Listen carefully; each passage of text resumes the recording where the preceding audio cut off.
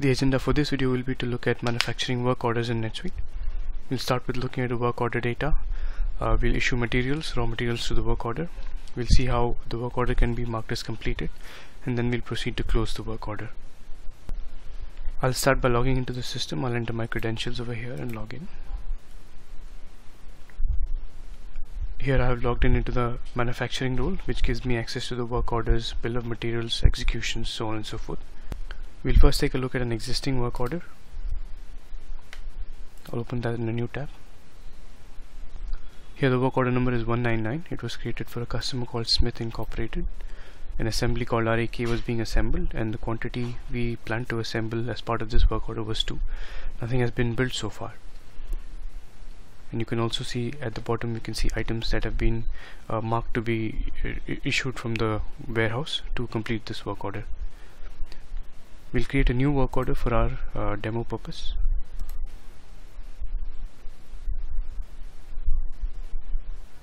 Over here the system asks us to put some uh, data as mandatory. I'll enter the subsidiary first since that will give me access to the list of items that are available as part of the subsidiary. I'll enter the item number that I want to assemble. Uh, as you can see automatically some data fields are being populated here mark sub assemblies is phantom uh, the work order form revision number C and the components that are part of this assembly have been automatically fetched from the item master data. I'll update the quantity to be 10 I think I have some uh, raw material that is missing for uh, the work order. That should be fine.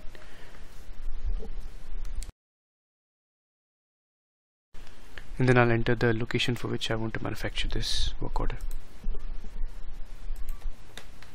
I'll save this work order.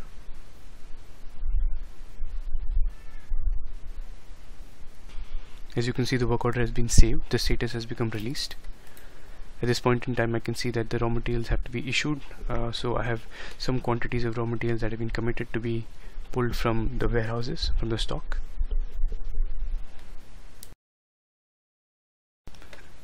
Some quantity is back order. Like I said some raw material is missing. SDW handle is missing the raw material inventory. So out of 42 only 18 is missing and uh, this has been placed in back order.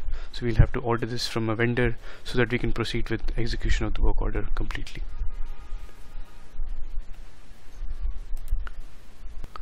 you can also see that the used in build is zero as of now which means not nothing has been issued to this work order as, it, as of yet.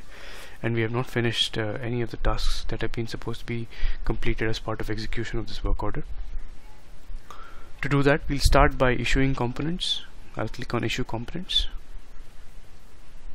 Here we are pulling raw materials from the uh, raw materials warehouse and issuing it to the uh, to the order itself so NetSuite automatically shows us the quantity that is supposed to be pulled from the warehouses. So it, this can either be fully issued so all the components that need to be issued as part of this work order can be fully issued at once or they can be issued in parts.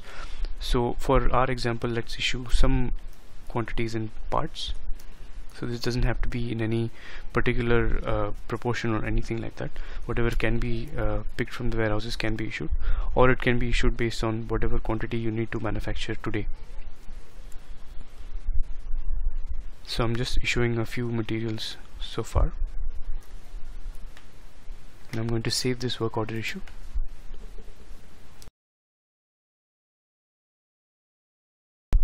The work order issue has been created and now I can go back to the work order and see how that reflects in the work order.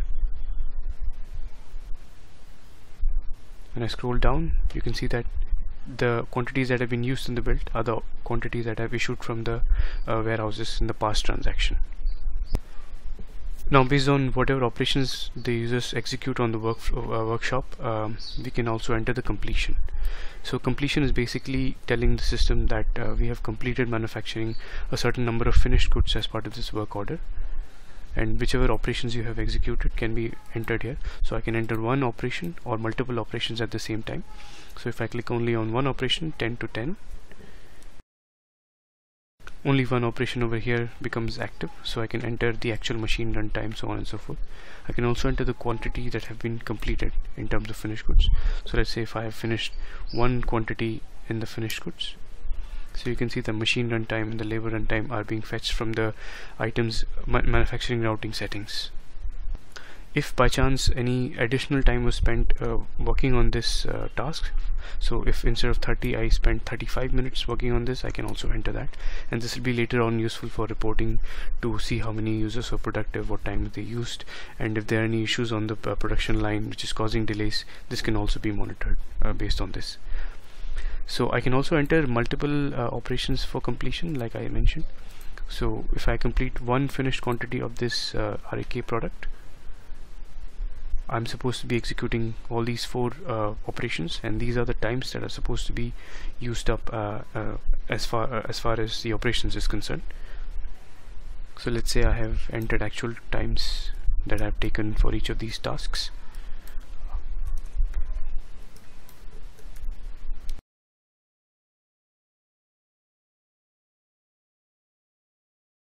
And then I can save this work order completion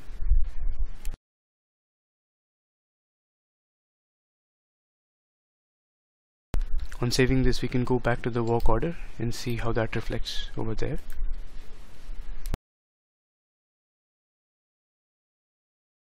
Here you can see that the build quantity has become 1 which means out of 10 we have one manufactured one finished goods.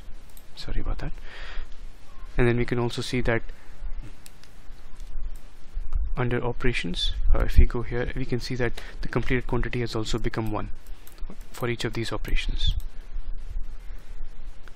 and as we discussed earlier used and built is the quantity that you've issued from the warehouse so far for the components for the raw materials for this work order.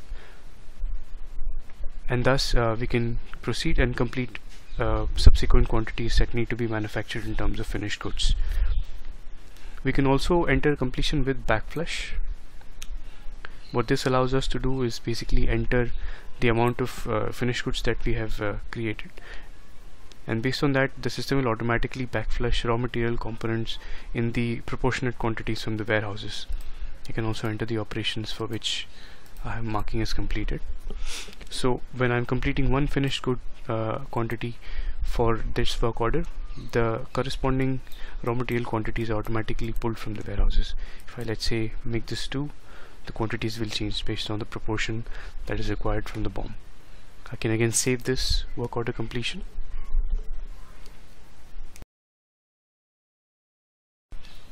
and go back to the work order to see the data. Here you can see the build quantity has become 3 because I marked 2 with backflush. And you can also see that the used in build quantities for the components will have updated based on whatever quantities were pulled from the warehouse for two additional quantities that were finished in the finished goods